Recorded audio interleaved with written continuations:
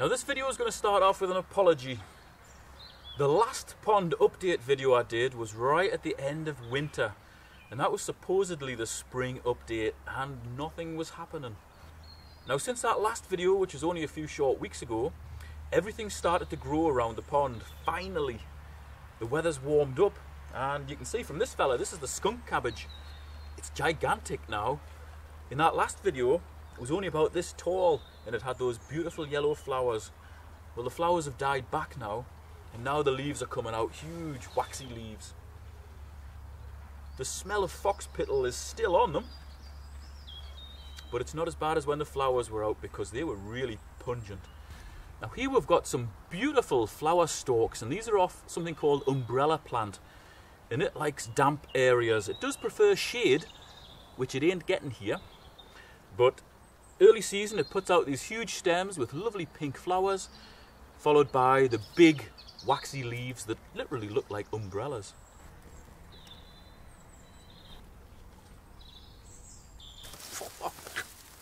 Ah, the pollen that's coming off this grass. Unbelievable. Just as well I haven't got hay fever. But this lovely grass here, which is flowering, is called golden sedge. That's a really nice one and it probably looks at its best early season. And right next to that, we've got something called meadow sweet. It's quite an attractive plant and you can probably guess by the name meadow sweet, you would normally find it in meadows, particularly water meadows near rivers. And in the summer that produces a lovely cluster of flowers on long stalks which smell very, very sweet. And I don't know why, but meadow sweet kind of reminds me of medieval things for some reason. I, just the smell of it, it just, I don't know, it just kind of transports me back in time. I, I cannot explain it, it's a really strange one. But it's, it's, it's a really sort of heady, full, sweet smell. Here we've got something called marsh woundwort growing. And really, I, I, could probably do with getting rid of that because it, it doesn't produce much in the way of flowers. And it's starting to spread all over the banks.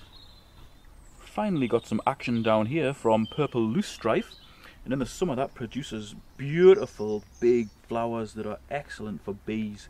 Really pinky purple in colour. There's another golden sedge, that's a nice one. And behind it you can see the iris are actually starting to grow. They're looking good. I'm just poking through here, we've got some Typha. This is the huge one, this is Typha latifolia, which is also known as cattail, and it gets huge brown pokers in the summer. You can just see the different types of irises I've got here. This is going to produce a beautiful floral display in the summer. Look at them, we've got the big yellow ones here. We've got, I think, bluey purple ones here and then we've got a dwarf yellow one here.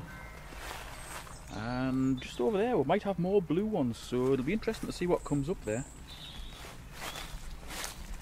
And if you're eagle-eyed you'll notice a gunnera there. I've planted a lot of gunneras around the side so I'm hoping that they do well.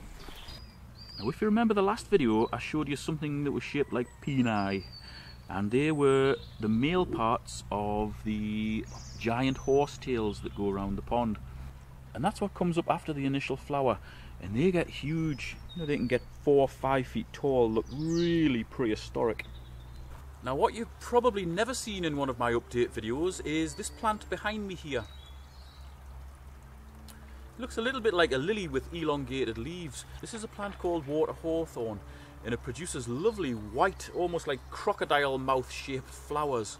And they smell of vanilla And these were put in when I closed my polytunnel down. I had a huge tub full of these. So these are planted all the way around the sides. Some of them haven't taken, some of them have. What I'm hoping is they'll produce a load of seeds and they'll totally populate around the sides of the pond. They're like what you would call a deep marginal if you were buying them at a garden centre or something. You'd look in the deep marginal section and they'd be there. Ideally they want to be planted under about a foot to 18 inches of water, but I have seen them grown in three feet of water and I can smell vanilla there. It's a lovely, lovely smell. If they would totally populate the sides of my pond, you would get a really beautiful smell coming off. and they flower all year. Actually, in the midsummer, that's when they're looking at the worst. And I've seen those fellas flower through ice. They're a really, really nice plant. Now I've got loads of hostas planted around the pond. These are the only ones that are really showing anything so far. And for whatever reason, they never get bothered by slugs. But they're a nice plant. There's quite a few clumps of those around the pond. Now just behind me here, in the shaded area of my pond, underneath some conifer trees, are probably my favourite sort of fern. These are shuttlecock ferns. And they grow with a very upright habit. They do look very much like the tail end of a shuttlecock. I assume that's where they got the name from. Definitely one of my favourite ferns. I absolutely love them.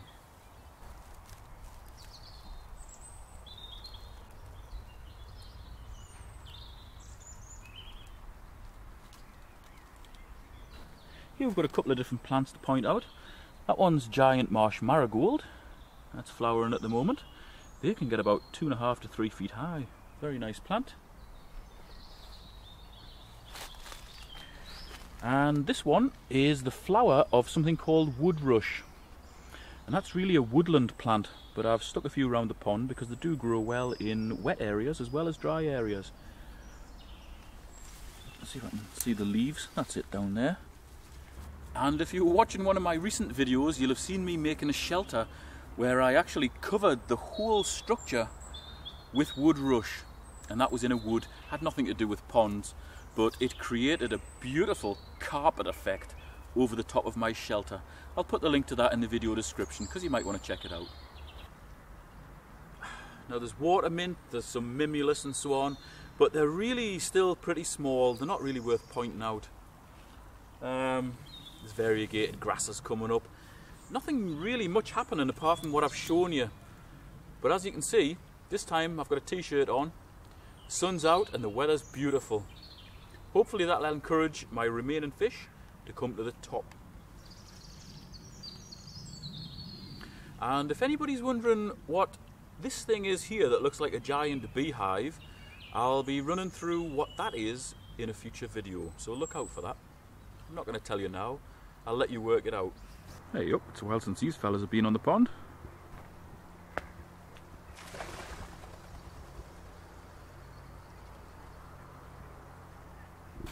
My big pump has just kicked into action on the timer behind me there and you can see how well that's oxygenating the water. It's got that Venturi system so as it's blasting out at 40,000 litres an hour it's drawing air in and totally bubbling up and fizzing there.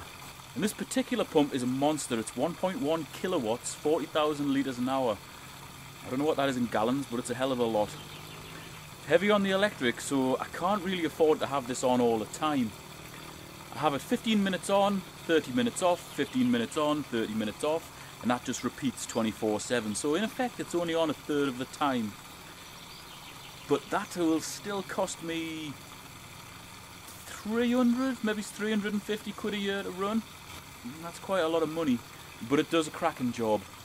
Obviously, it's just a pump. It's not going to clear the water, but it helps to keep the water healthy.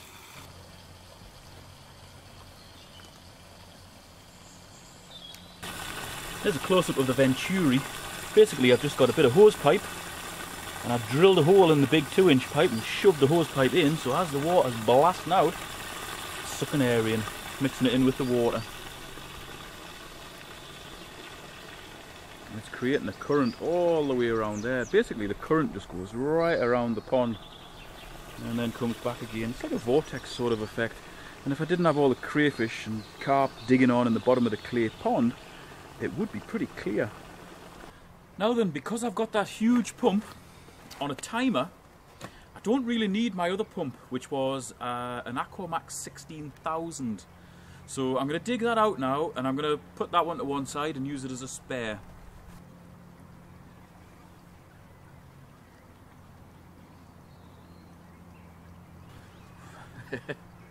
well, I was wondering where that old rake had gone. That solves that mystery.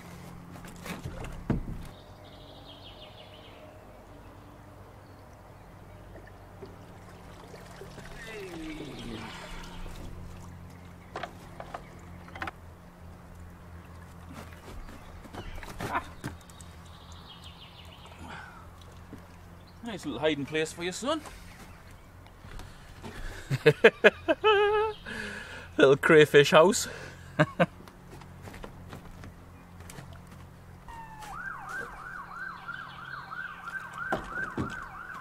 let that pipe drop back in there because the other end's still attached.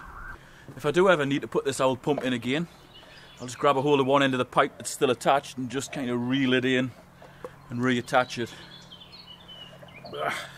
That's just heavy with muck. I'm going to have to take this apart and give it a good clean and then put it into storage.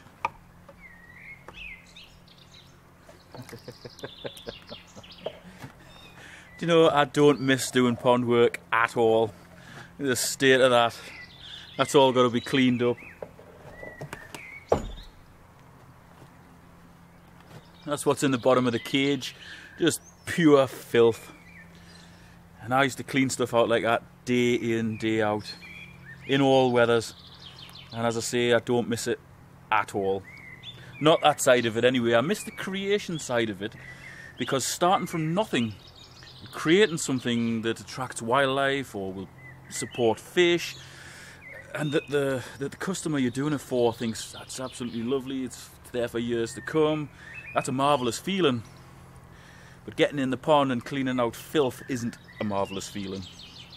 So there you go, that's pretty much what the pond is up to at the moment. The fish are definitely more active, I am seeing them, and I've started putting a few traps around the sides just to see what I can trap, just to see what's about. And the results have been pretty good. I have discovered quite a few different types of fish. And there we've got a perch in beautiful condition. The colours on that fella.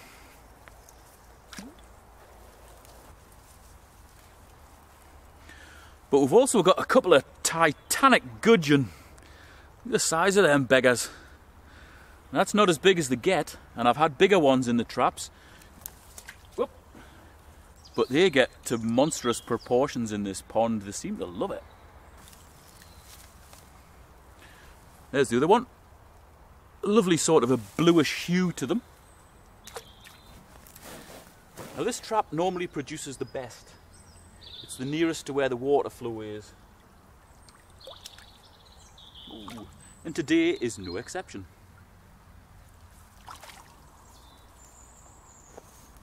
Ooh. Here we've got a beautifully conditioned perch. Look at that fella. Look at the colours on that. Lovely. It's not the biggest in the world, but it's beautiful colour. Absolutely lovely. But that one pales into insignificance compared to one we caught the other night. Just check this fella out. It's a nice sized rudd.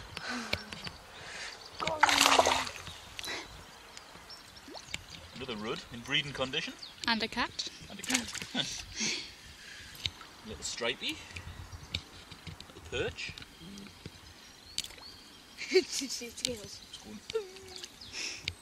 Are you sure that's going to fit? It's massive. The mega stripey with oh. scars off the otter. You know, the otter's mouth grabbed a hold of it and it's managed to get away. That's a big lad. I think he's a gangster. Excuse me, John. What are you doing up there? oh my god. Got a branch between his legs. that can't be comfortable. hey! Yay! Okay, that's the pond. I'll just briefly show you the dam wall because there's a lot of the acers starting to come out and it's really starting to colour up. The, the garden's looking pretty good. Just put a treatment on the lawn so within a few weeks that'll be emerald green. It'll look really nice. And then my son will play football on it and destroy it. Now this isn't a bad set of colours, is it?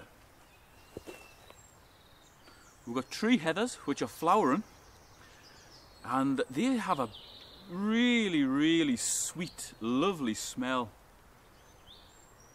It's, it's if you've ever done heather burning, which is putting the strips in on grouse moors, you'll recognise this smell. It almost smells like burning honey. And that's what the moor smells like when you burn it. It's a really nice smell. And that reminds me of the moors. Very, very nice. I love my tree heathers and I really should plant more of them around the pond. If I ever fell some of the trees in the wood, I'll definitely plant up on the bank side a lot of tree heathers because they're one of the nicest plants you can have in a woodland garden. Of course here and here we've got different sorts of acers. They're now in leaf so now on various points around here you've got purples and greens and they go wild colours in the autumn. Really really love acers. And if you'll notice there's two different types of tree heathers. We've got the green one and we've got the gold one both have lovely smelling flowers. You know, when I walk up to the pond, you just get that waft of burning honey and it smells lovely. And I can't remember whether I showed you this in the last update video, so I'll run through it again. Along the side of here is always wet and I was worried about this bank side collapsing onto my path. So I planted willow, I basically just plugged willow in all the way along here years ago and for the last few years, I've been weaving the willow into itself to make a really knotted retaining wall. And that's all coming away really, really well. You know, as that comes up, it'll push roots into there.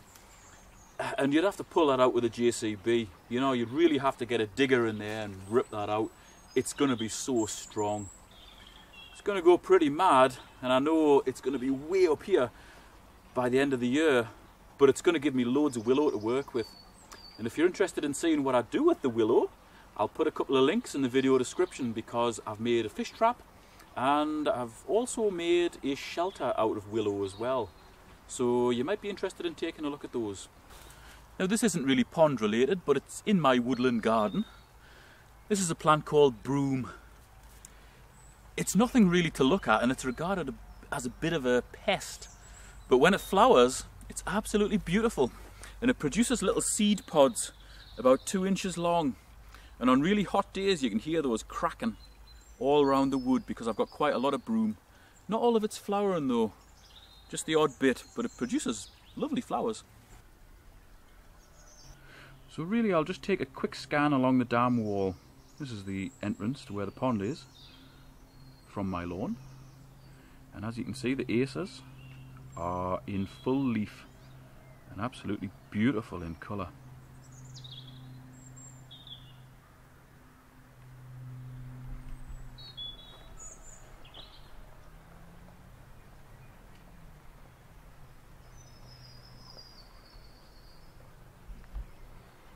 And just behind that purple acer there, we've got something called Pieris Forest Flame. And at this time of year, the new growth is absolutely beautiful. It literally just looks like a flame. And that's my contorted hazel. I took out all the straight stems, so now it's purely just contorted. It takes a little bit of looking after because if you allow it to revert, it possibly could go back to just being straight. So you've got to chop down all the straight growths that come out of the bottom here. This is the world's worst rhododendron. Year on year this one has just got worse and worse. I don't know why but uh, it's practically dead. It's not looking good at all. Although the flowers on it are still beautiful I feel so sorry for it. It's almost like it's got some pest because the, the leaves just don't grow on it at all. And yet the other rhododendrons in the garden are okay. Yeah about 15 foot away from that last rhododendron look what we've got. A huge one and it won't be long before it's flower and I'm really looking forward to seeing that one. That'll be a beauty. And just next to that, that nondescript looking acer goes bright orange in the autumn. Do you know, I've never noticed that one before, just along from that other one. We've got another rhododendron. I've got more of these than I thought. I've got more Gunnera than I thought as well. We've got one, two, and then the big lad. This is going to be really nice along here when they all grow up. Right next to where I parked my car there's a beautiful rhododendron. Half the plant looks like it's dead, but um, it's putting on a good display as far as the flowers go. Just check these out.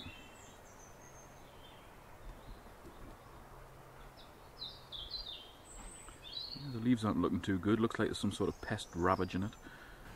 Now it's said in folklore that foxgloves planted around your house protect it from evil spirits.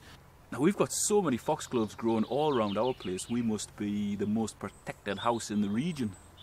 The devil himself could roll up and have no chance of getting in. Now hopefully you'll be able to see this.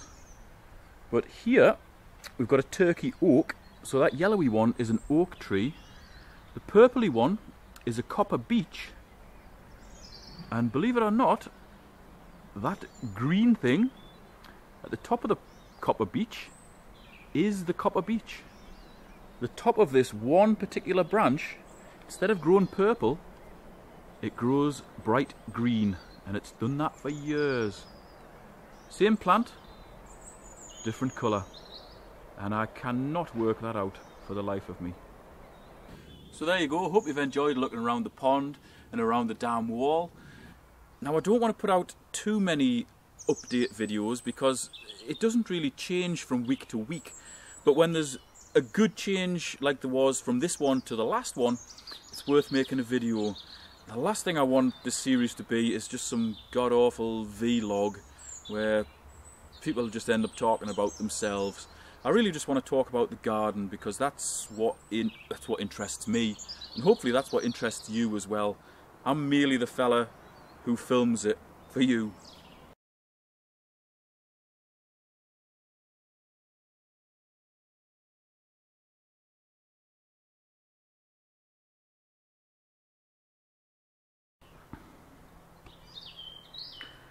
Here we've got a stray cat that's turned up.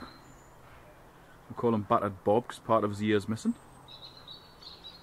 He's a little bit scared of people, but um, he's getting there, he's getting better. And we've been regularly feeding him, so he's quite happy, even though he doesn't look it. Actually, he's looking a lot better than he was when he first turned up. I think now he's just Bob. He's not too battered. And when he gets all his condition back, he'll be handsome Bob. Won't you, Bob? Where are Come on, son, you can do it. Come on. Hey, Bob.